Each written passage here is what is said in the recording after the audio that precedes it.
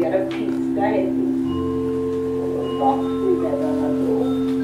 Ungefär pelletskiv då.